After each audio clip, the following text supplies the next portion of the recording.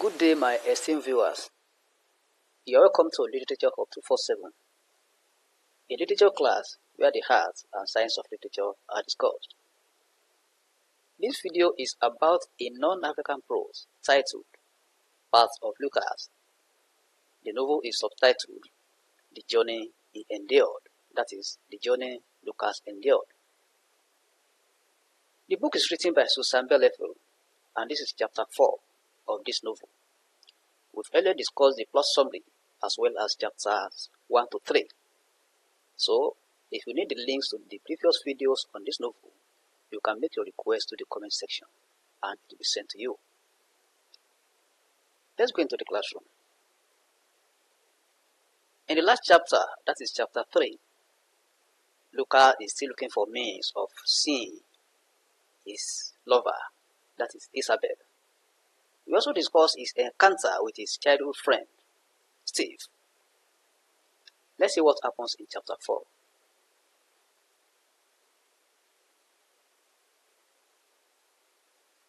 Summer leads to autumn ends. Lucas is occupied on the farm. He hasn't seen Isabel yet, but she's still in his mind. After a long day's work, he picks up a telegram from Steve from the mailbox.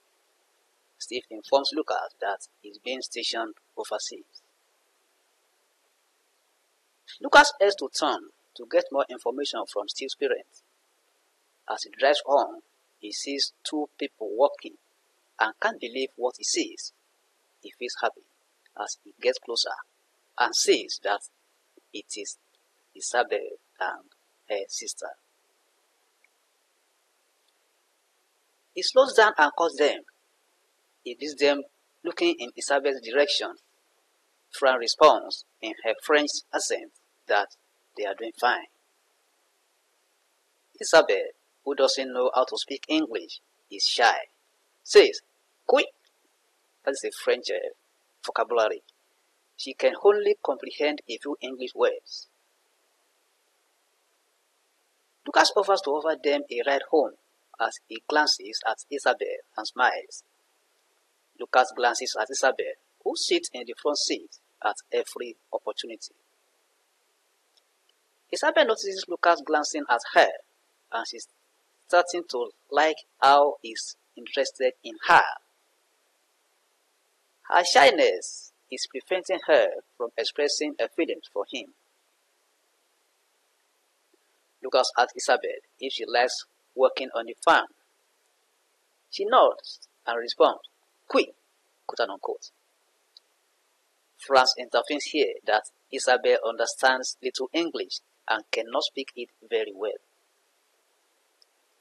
Lucas appreciates Franz for that information and thinks of how he will be communicating with Isabel. He urges Franz to ask Isabel if they can communicate through her. That is, Franz will be serving as their interpreter Isabel agrees, and Franz tells Lucas that Isabel is also interested in speaking with him. She asks Lucas if he wants to tell Isabel anything. Lucas is short of what to say and becomes dumbfounded. He later asks in his low, charming voice if Isabel will go on a date with him. Francis translates what Lucas says for Isabel and then tells Lucas that Isabel wants to know where he's taking her. They agreed to go to Mama Jean's diner for supper by 7 p.m. Lucas thanks Francis for the assistance rendered and turns his attention to Isabel. He tells her bye and they both wave at him as he drives away. Lucas is now happy and he heads to Steve's parents' house. He parks his car and greets Stella Steve's mom, who is working on who is working in a garden. Adolf, Steve's father, is about getting finished with the lawn. Stella tells Lucas to follow her inside for a glass of lemonade. Lucas sees Adolf as he moves his grass cutter in three different places as if confused. He then asks Stella if Adolf is okay. Stella responds that he hasn't been himself since. Since Steve left for Cold Lake. Lucas suggests they go to the garage to help him, and after that, go for the lemonade. Lucas greets Adolf, Mr. Lewis, and tells him that Mrs. Lewis Stella has, has, has fresh squeezed lemonade in the house. Adolf returns the greeting and says he has been busy on the farm. He says they should go inside and get some lemonade to cool himself down. Lucas and Adolf sit in the sitting room while Stella goes to the kitchen for the drink. Adolf tells Lucas about Steve. He says he's a great son and has been helping them pay their bills. He has that they are proud of his career. Stella walks in and set the table. The boys have loved our pies since they were young. The boys have loved our pies since they were young. That is a uh, Stella pie. She's well known for her award-winning baked produce. Stella hands Lucas and Adolf a slice of pie each and serves herself. Lucas tells them that he received, he received a telegram for Steve that he's heading overseas. Adolf then comments about Steve that he always strives for excellence like his younger brother, Tom. He says Tom was 24 years old when he died in the war, and Steve was then 3 years old. He says he found some telegrams and letters from Tom where he read about his heroic missions. He reaches for an album and points to the picture of Tom, the man dressed in uniform, standing beside a fighter plane. Lucas responds that Steve only told him about his uncle once and didn't tell him how he died. He says he now understands why Steve is determined to serve. Stella calls in and says that Steve knew how Adolf felt about the death of Tom, so they rarely discuss the war.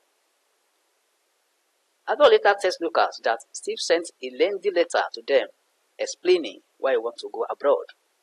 He says he doesn't want him to go because of the death of Tom. He adds that he has to respect Steve's wishes, though not convenient with it. Lucas asks Adolf if they know how long Steve will be away overseas. He says they don't know.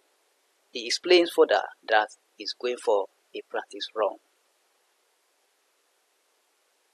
He's chosen to follow a group going to Europe for a top secret mission, for a top secret mission because he knows about aircraft, aircraft very well. Lucas says they should be proud of him for his courage and determination. Stella corroborates that they are honored to have him as a son. She flips through the album and stops at a photo of Steve and Lucas where they are about to jump in the lake. She shows it to Lucas, laughing. Lucas says he didn't jump, but Steve was courageous enough to try new things. Adolf says Steve has things to offer and will never hold him back. However, it doesn't go down well with him as he has had sleepless nights since he left. He says he can never forget Tom, hence the fear for Steve. Anguish is written on the faces of Steve's parents. Lucas looks down and looks at the grieving faces of Steve's parents. He thinks about how they feel being apart from their only son. Lucas goes to Adolf's side and tells him that Steve is like a brother to him. He says if they need any, any help from him, they should call on him. Adolf tells Lucas that he is also like his son to them and that he is free to visit them anytime. He appreciates him for his concerns and says he will call him if, if he hears from Steve. Stella also stands and wraps her arms around Lucas' neck. She says he is part of the family and always loves to see him. She urges him to come again and tells him to be going and not to worry his parents as it's getting late.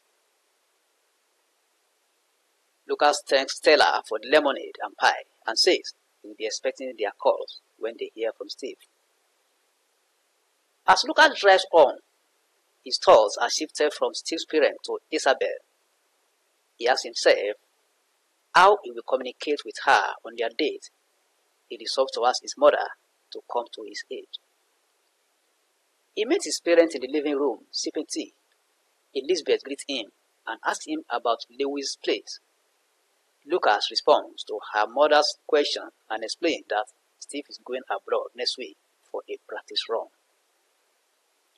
Lucas tells his parents about Steve's uncle, Tom. He says Steve only told him about his service and not his death. He adds that he feels sad for Steve's parents, though Steve is a strong man. He says he will, be he will be a great asset to the Air Force.